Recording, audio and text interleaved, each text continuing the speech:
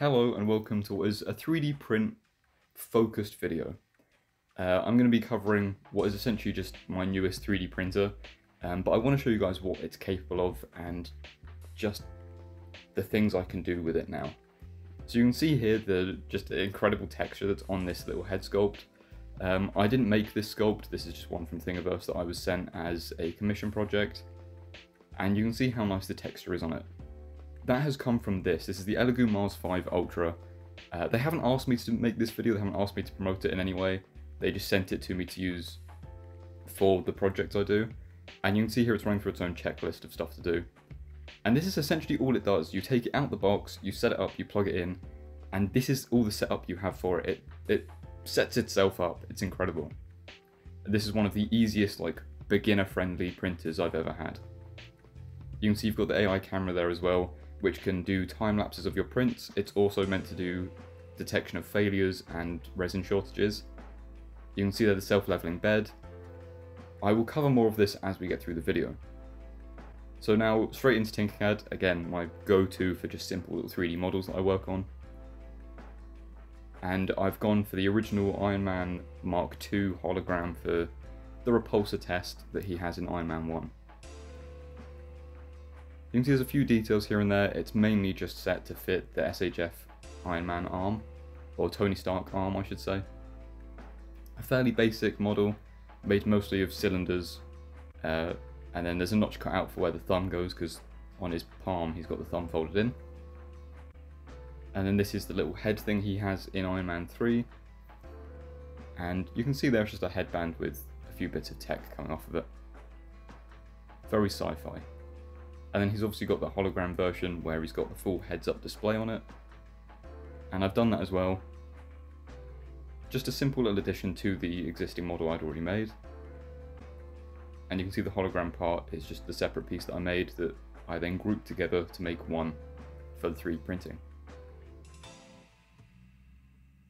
And then here is the prototype Mark 42 I don't know what you'd call it. This is the forearm, basically, that flies obviously towards him and then takes over his forearm.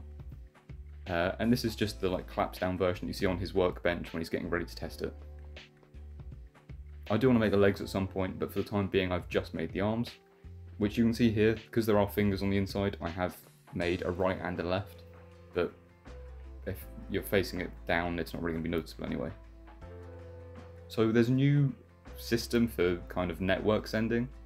I think it's called Chitu Manager. A very nice user interface. Haven't figured out how to use it with my older printers, so hopefully that's a thing that comes in soon, because I can currently only use it with the Mars 5 Ultra. But you can see here it's searching for printers, you can see the Mars 5 Ultra that's already set in the right, and you can see the printers that they're working on adding and what's already capable on it. You can also then see the printer itself and you can check the camera. Uh, you can do surveillance of your print as it's running. And it's an extremely high definition camera. It works really, really well. And obviously, like I said, you can time lapse your different prints. Now this is what I wanted to use to test the actual abilities of this printer, what it's capable of detail wise, uh, layer height wise, I didn't even increase the layer height, this is just set on its like base settings. You can see I did miss a tooth, so uh, it's not the printer's fault that he's missing a tooth in the final version. And now taking the lid off while it's printing, you can see how that resin vat works with the tilt release technology. It peels away from the print itself to, I suppose, prevent failures. Um, I've not had a print failure with this printer yet, so it works. And now bringing in the original one, obviously this is the scale I designed it for. You can see all the detail on this scale. And again, it's detailed to be this scale. So now bringing in the miniature version, uh, which you can see is a hell of a lot smaller, and yet somehow still has all of the detail. Except of course that tooth that I forgot to add support for.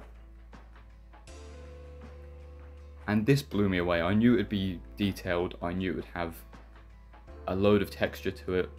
I didn't think it would capture every little detail that I had sculpted and then manage to print it in such a small form. If you look really closely, there is also the multi-layered pupil that I did, um, and a couple of the little wrinkles in the rest of the eyeball. I'm still struggling to wrap my head around how detailed this came out.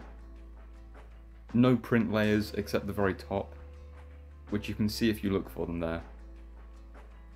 Which again, I didn't change it, this is just the stock settings. But no layer lines throughout the rest of it. And again, all I've done is put a coat of primer on this. You can see I've not even attempted to remove the little like spots from the support material. Now bringing that Boba Fett helmet in from the beginning of the video, uh, I, you can see I painted This is for Finmotion. Highly recommend you check out his channels. He's got TikTok, Instagram, YouTube. I'll link them in the description.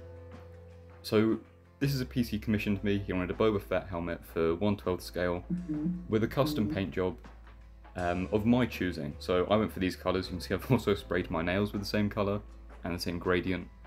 And the fact that even with all this paint on, you can still see that detail. It's not washed any of it out. There's the odd little hint of layer line here and there because it's a spherical object that's fairly flat in some areas. So you're going to get that, but the fact that this doesn't look 3D printed, incredible. Now onto the Iron Man stuff that I've been making uh, for quite a while now. I've just not got around to putting a video together for it. You can see first things first, there's the headgear that I've been working on. Printed in the clear blue that was sent to me with the printer. And you can see I've just tried to pick up whatever details were in the film. There's obviously the support here on the back, but the print quality of this is unreal. And to get all this detail with a clear resin, which for anyone doesn't know, clear resins won't pick up detail as well as say a grey or a black resin will. So to have all the details still at this quality with a clear resin uh, I this is if you had told me this is the quality of prints I'd be getting when I bought my first Elegoo Mars, like the original series Elegoo Mars, about six years ago, um, I probably wouldn't have believed you. But this is insane. And these aren't even like the highest quality models that I've made. But the fact that there's no print issues with them so happy to see this. Uh, I'll definitely be using this for projects moving forwards. This is going to be my go-to printer, I imagine now. Now moving on to that Mark II, uh, I suppose the Mark 1 repulsor setup, but for the Mark II that he was working on. And I have painted it in the fluorescent green spray, which working with UV torch, it does glow, it doesn't show up very well in this lighting, so what I should really do is turn off my studio lighting so that I can show it better because it's kind of just picking up the UV more than it's picking up the actual green. So moving him back so it's a little bit of a better view of what it would look like and shining the torch from a helpful angle. You can see how brightly this green glows. Um, this is just the Tamiya fluorescent green.